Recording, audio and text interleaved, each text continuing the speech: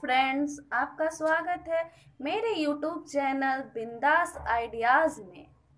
और मैं लेकर आई हूँ आज आपके लिए मटर आलू की ग्रेवी वाली सब्ज़ी, जिसे बनाना बहुत ही आसान है और कुछ ज़्यादा मटेरियल्स इसमें यूज़ नहीं की है मैंने। आप देख सकते हो कितना कम मटेरियल मैंने यूज़ किया है। और जैसा कि आप सभी देख सकते हैं, आलू मटर की सब्ज़ी बनाने के लिए मैंने यहाँ पे कुछ सामान प्रिपेयर किया है, जिसमें आपको आलू मटर की सब्ज़ी बनाने के लिए थोड़ा सा हमें चाहिए मस्टर्ड ऑयल थोड़ी सी आलू कटी हुई, इसको मैंने कट करके वॉश करके रख लिया है। एक टोमेटो चॉप किया हुआ, इसको आप एट पीसेस या फोर पीसेस में काट कर रख सकते हैं।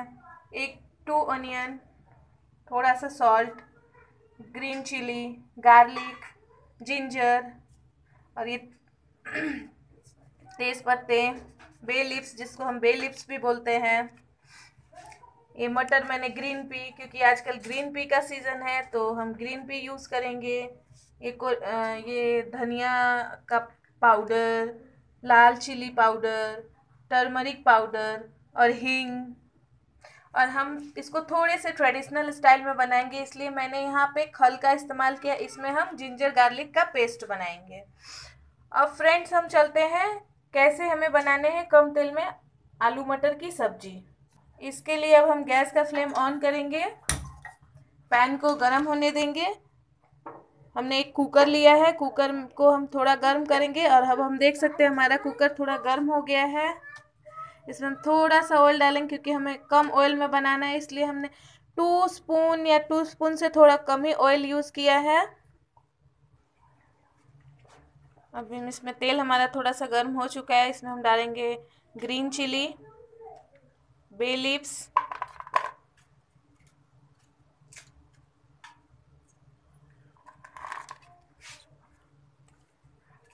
ग्रीन चिली और हमारी ग्रीन चिली थोड़ी सी रोस्ट हो जाएगी। तब हम उसमें ऐड करेंगे अनियन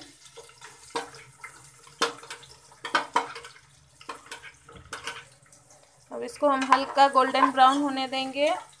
और हमने आप जैसा कि आप देख सकते हैं, हमने मस्टर्ड ऑयल का यूज़ किया है। आप ऑयल कोई भी यूज़ कर सकते हैं एज़ पर योर टेस्ट आप रिफाइंड ऑयल घी, आपको जो जो ऑयल अच्छी लगती है, आप वो ऑयल ऐड कर सकते हैं। मुझे मस्टर्ड ऑयल पसंद है, इसलिए मैंने मस्टर्ड ऑयल यूज़ किया है। और जैसा आप सब देख सकते हैं ऑनियन का कलर आना शुरू हो गया है। हमारा ऑनियन थोड़ा सा गोल्डन ब्राउन हो चुका है, इसको दो मिनट और हम रोस्ट करेंगे। अभी ये देखिए, इसने ऑयल छोड़ना शुरू कर दिया है। थोड़े ही देर में हमारा ये ऑनियन पक जाएगा। थोड़ा सा गोल्डन गोल्डन कलर का आ जाएगा। हमारा ऑनियन हो चुका है। अब इसमें हम, देखिए, हमारा ऑनियन हो चुका है। इसमें अब हम ग्रीन पीस ऐड करेंगे। इसको हमने पहले ही छुड़ा के और वॉश करके रख लिया है। अब हम इसमें पोटैटोज़ ऐड करेंगे। इसको भी हमने पहले ही कट करके इक्वल स्लाइसेस में कट करके वॉश करके रख लिया है। इसको थोड़ा सा हम सॉटे करेंगे। दो मिनट सॉटे करेंगे। और जब तक हमारी पोटैटो और मटर थोड़े से रोस्ट होते हैं, तब तक मैं इस फल में थोड़े से जिंजर और गार्लिक का पेस्ट बना लेती हूँ।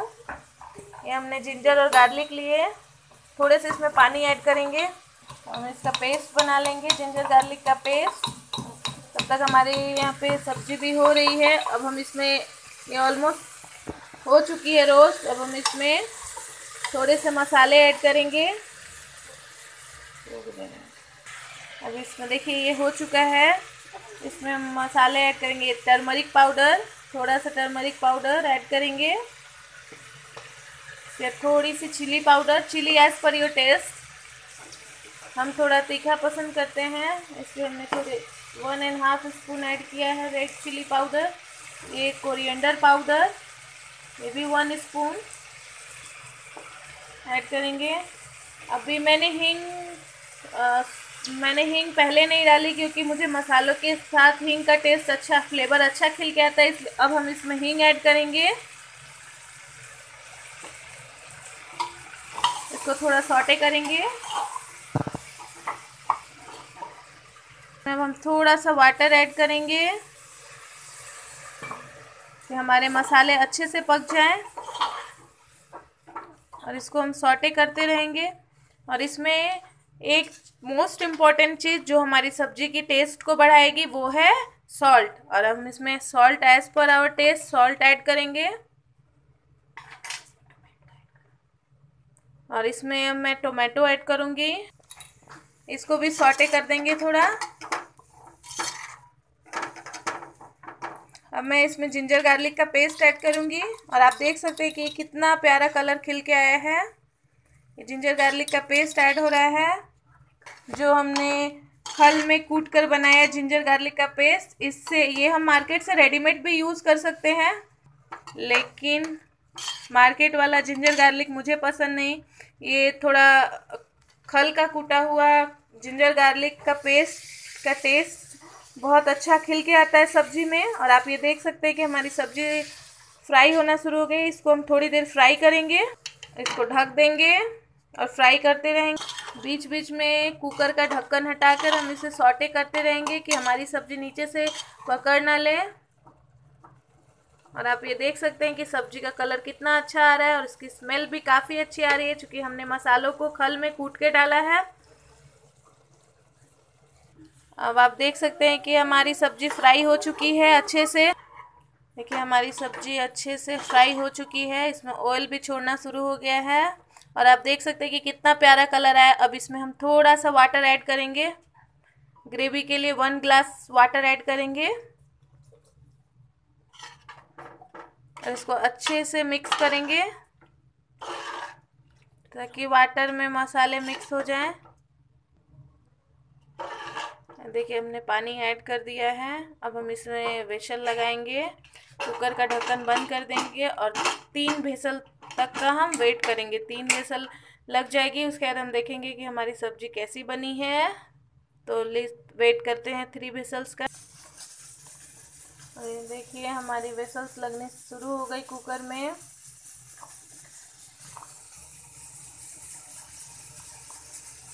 और इसी तरह हम थ्री विशल्स का इंतज़ार करेंगे